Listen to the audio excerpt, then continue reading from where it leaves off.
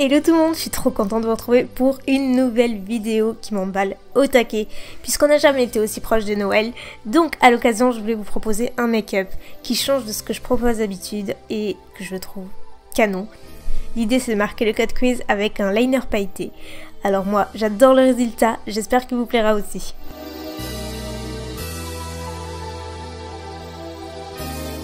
Une fois que j'ai appliqué mon scotch tout le long du coin externe, je passe à la palette, donc j'utilise la Twinkle Light et je commence avec le fard Skin qui sert vraiment à aplanir. Oh là là, ça fait bizarre Ça va servir de base pour homogénéiser toute la paupière et rendre l'estompe après plus facile. Donc étant donné que là c'est un maquillage principalement du creux de paupière, on va utiliser plusieurs fards. Donc je commence avec le fard caramel qui est mon fard préféré pour commencer n'importe quelle transition. Il va commencer à le marquer légèrement, donc utiliser un pinceau assez fluffy et bien du coin interne jusqu'au coin externe en balayant vers l'extérieur, vous verrez sur les images. Je passe ensuite au Red Velvet et je change de pinceau pour utiliser une version un petit peu plus précise. Pareil, je reste dans le creux, en fait je fais vraiment toujours le même euh, mouvement de l'intérieur jusqu'à l'extérieur, jusqu'à avoir vraiment quelque chose de très tracé, très intense. L'idée c'est vraiment de marquer le creux comme je vous l'ai dit, donc n'ayez pas peur, même si c'est un petit peu intimidant au début et place au fard chocolate. Donc utilisez n'importe quel marron mat que vous avez avec un pinceau biseauté. C'est ma petite astuce pour vraiment réussir le code quiz. Ça vous permet de bien définir et bien sentir en fait cette zone là. On le sent en fait, il y a un creux entre l'os et la paupière, c'est vraiment là qu'il faut le dessiner.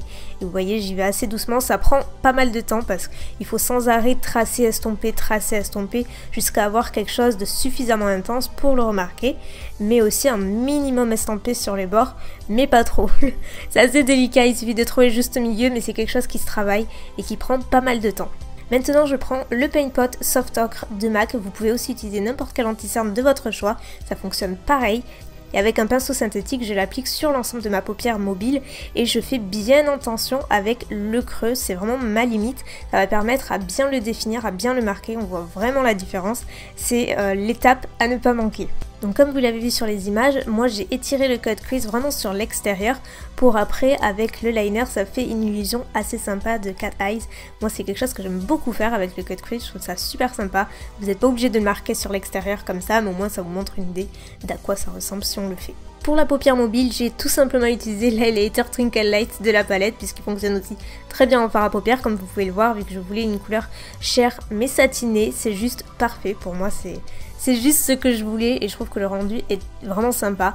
Après c'est clair que c'est original, c'est pas quelque chose qu'on peut porter tous les jours, mais pour les fêtes ou pour le nouvel an aussi, euh, je trouve ça plutôt cool.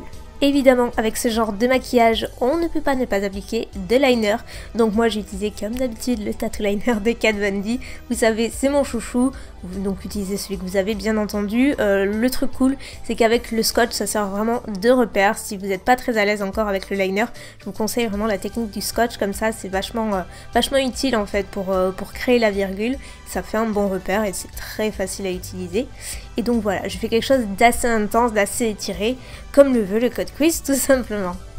Et la pièce maîtresse de ce maquillage, c'est bien entendu le liner pailleté. Donc moi j'ai utilisé celui de Urban Decay, c'est le Midnight Cowboy je crois.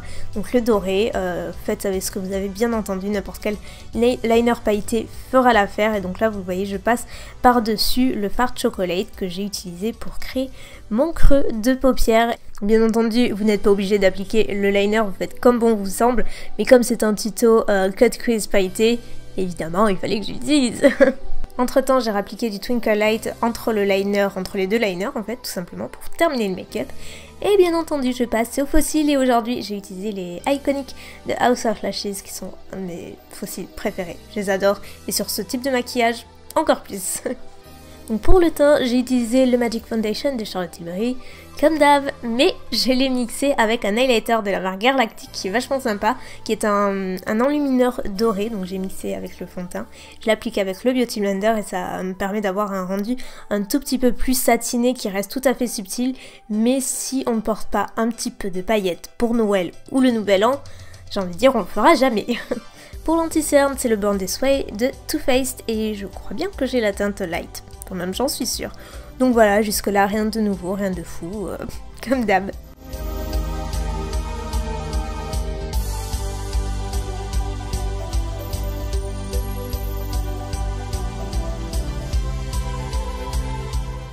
Et je fixe le tout, mon contour et le reste de mon visage avec la poudre libre translucide de Kat Von D qui est vachement sympa. Ça fait désormais plusieurs fois que je l'utilise et je suis complètement ravie. Moi sur ma peau mix à grasse, elle fonctionne du tonnerre. Euh, vraiment j'ai à peine limite, à peine besoin de retouches en cours de journée et le rendu est très très joli. Je passe ensuite à mes sourcils parce qu'ils en ont bien besoin et ça fait toute la différence d'ailleurs. Donc j'utilise la teinte Medium Brown de Anastasia toujours. Donc vous voyez comment je trace mon sourcil et à la fin avec le petit goupillon je viens estomper un petit peu la tête du, sourcil. Euh, depuis quelques temps je fais comme ça et, je préfère, je préfère. Dites-moi ce que vous en pensez.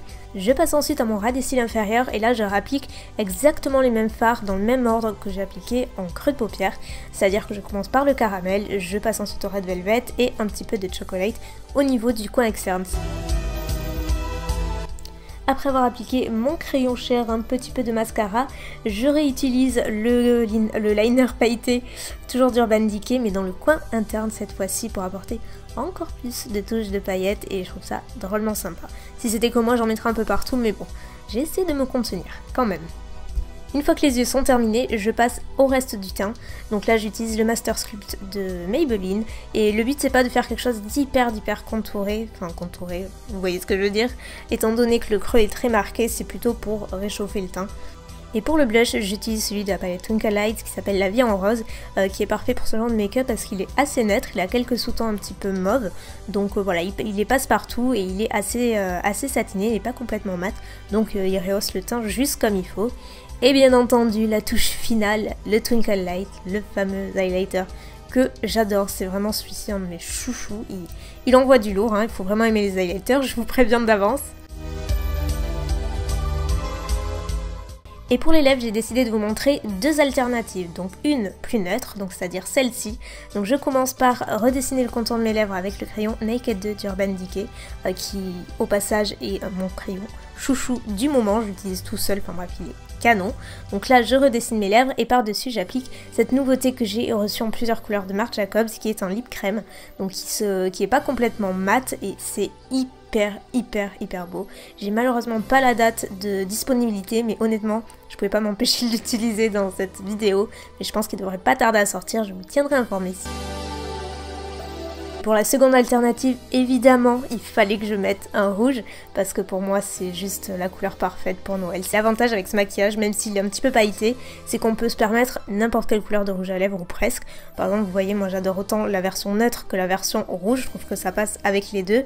Euh, j'aime beaucoup les deux, franchement, j'arrive pas trop à me décider. J'ai tendance à aimer le neutre, mais j'aime tellement une bouche rouge pour Noël, et pour le reste de l'année, mais en particulier pour Noël, que c'est un peu compliqué de se décider. Et là, dans cette vidéo, j'ai utilisé le combo Marie-Jo de Kylie Cosmetics qui est un rouge sublimissime.